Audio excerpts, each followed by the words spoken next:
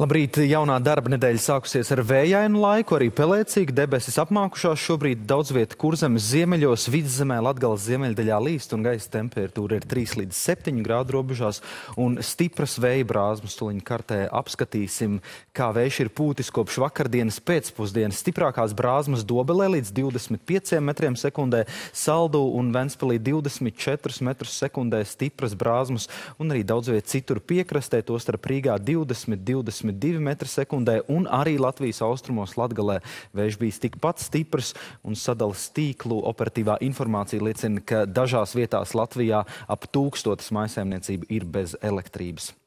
Nu, par turpmāko vēl tuvākajās stundās daudz vietā nelielas lietas, bet vēlāk dienas gaitā līs tikai valsts austrumu daļā debesis pakāpeniski skaidrosies. Priekšpusdiena vēl visā Latvijā vējaina, bet pēcpusdienā vairs tikai vidzemes austrumos un latgalē vēja brāzmas ap 20 metriem sekundē.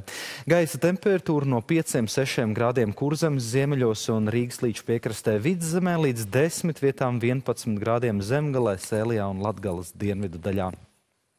Arī Rīgā rīta stundas vēl pelēcīgas, apmākušās, nedaudz smidzinās, pēc tam mākoņi izklīdīs, uzspīdēs saule un gaisa temperatūra pakāpsies līdz 8 grādiem. Ziemeļrietumu vējš priekšpusdienā vēl brāzmains, bet uz vakarpusi tas kļūs krietni vien lēnāks.